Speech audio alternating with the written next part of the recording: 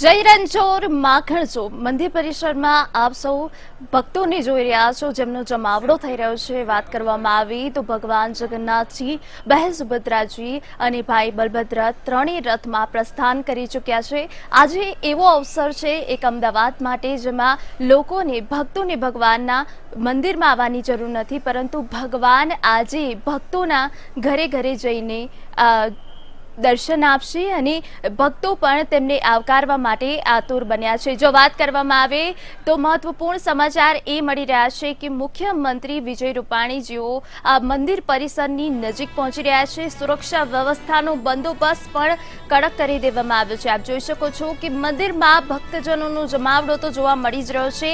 આજે ભગવાન જગન્નાથજીની એકસો બેતાળીસમી રથયાત્રા યોજાવા જઈ રહી છે. સીએમ વિજય રૂપાણી દ્વારા પહિંદ વિધિ કરવામાં આવશે. ત્યારે સીએમ વિજય રૂપાણી મંદિરની નજીક પહોંચી ગયા છે અને તેમના દ્વારા મંદિરમાં પહિંદ વિધિ કરવામાં આવશે અને તે બાદ જે ભગવાન છે, તેઓ હરિભક્તોને દર્શન આપશે. પોતાની નગરી નગરીમાં ફરીને જો વાત કરવામાં આવે મંદિર પરિસરમાં, આજે જયરણ છોડ માખણ છોડનો જે નાદ છે, તે ગુંજી ઉઠ્યો છે ને એક તરફ આપ જોઈ શકો છો કે જે સુરક્ષા વ્યવસ્થા છે, આજે તેઓ પોતાની ફરજ બજાવીને જ્યારે ભગવાન પોતાના ભક્તોને દર્શન આપવા માટે નગરચર્યાએ નીકળ્યા છે, ત્યારે પોલીસ પણ આજે ભક્તજનોની સાથે સાથે ભગવાનની પણ સુરક્ષાની ધ્યાનમાં રાખીને જે રીતે જોઈ શકો છો કે કડક સુરક્ષા વ્યવસ્થા વચ્ચે સીએમ વિજય રૂપાણી પણ મંદિર આવી પહોંચ્યા છે અને તેમના દ્વારા પહિંદ વિધિ કરવામાં આવશે. આજનો અવસર એવો હોય છે કે એક હરિ જે જગતનો નાથ છે, તે ભક્તોને ઘરે ઘરે જઈને દર્શન આપે છે અને ભક્તોને પણ ભગવાનને પોતાના ઘર આંગણાની નજીક પામીને ધન્ય થઈ જાય છે. આ મંદિરમાં ભક્તોનો જમાવડો જોઈ શકો છો. દૂર દૂરથી લોકો આજે જગન્નાથજીની એકસો બેતાળીસમી રથયાત્રામાં ઉપસ્થિત રહેવા માટે આવ્યા છે. આ સાથે વાત કરવામાં આવી, સાંસ્કૃતિક પરિવાર, જે ગણવેશ છે તે ધારણ કર્યો છે અને ખાસ કરીને મનમોહક કહી શકાય એવા ભગવાન જગન્નાથજીનું રૂપ જેમને રજવાડી વાઘા સાથે સુશોભિત કરવામાં આવ્યા છે. ભગવાન જગન્નાથજી બહેન સુભદ્રા અને ભાઈ બલભદ્રને રથમાં પ્રસ્થાન કરી દેવામાં આવ્યું છે. મંદિરમાં આપ રોશની જોઈ શકો છો જે રીતનું મંદિર શણગારવામાં આવ્યું છે. કેમ ન હોય, જે ભક્તો દર મંદિરમાં આવતા હોય છે, હરિને નમવા માટે આજે એ જ હરિ તેમના ભક્તોના ખબર અંતર પૂછવા માટે તેમના ઘરના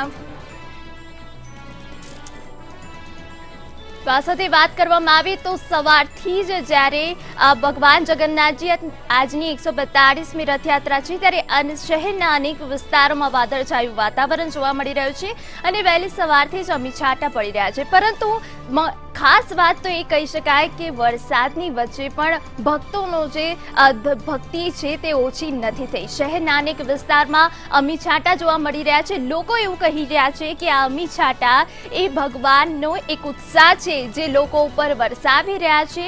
આખું વર્ષ સારું જાય લોકોનું તેવી કામના કરી રહ્યા છે અને આ છાંટા અમીરૂપે વરસી રહ્યા છે. વરસાદના વધામણા જોવા મળી રહ્યા છે આજના દિવસે, પરંતુ લોકો અને મહંતો એવું માની રહ્યા છે કે ભગવાન આજે જ્યારે નગરચર્યાએ નીકળવાના છે અને આખું વર્ષ લોકોનું સારું જાય તેના માટે આ અમી છાંટા પડી રહ્યા છે. વહેલી સવારથી જ અનેક વિસ્તારોમાં ધીમી ધારે વરસાદ જોવા મળી રહ્યો છે.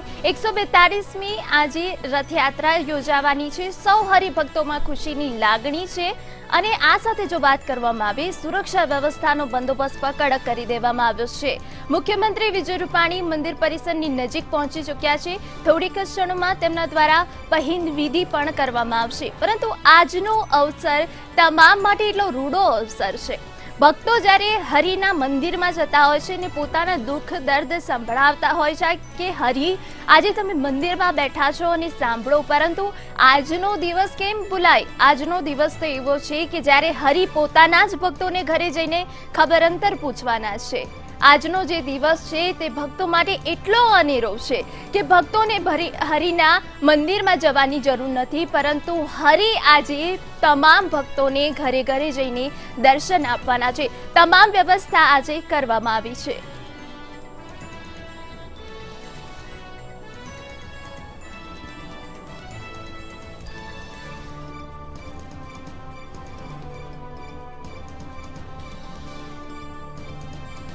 તો આપ જે જોઈ શકો છો કે હરી આજે જ્યારે નગરચર્યાએ નીકળવાના છે તો કોઈ કસર બાકી નથી રાખવામાં આવી. ભોગ તૈયાર કરવામાં આવ્યા છે, પ્રસાદ તૈયાર કરવામાં આવ્યો છે. આજે હરિનો એક પણ ભક્ત ભગવાનના પ્રસાદ વગર બાકી ના રહી જાય તેની તમામ વ્યવસ્થા મંદિર પરિસર દ્વારા કરવામાં આવી છે. આજે તમામ ભક્તો માટે હરિ પોતાના હાથેથી ખવડાવે તેવો એક ભક્તો માટે અનેરો ઉત્સવ છે. ખાસ વાત તો કરવામાં એ આવે કે આજે તમામ તૈયારીઓ કરી દેવામાં આવી છે, જે અલગ અલગ ટ્રસ્ટ છે અને તેમનાઓ દ્વારા તમામ તૈયારીઓ આટોપી લેવામાં આવી છે.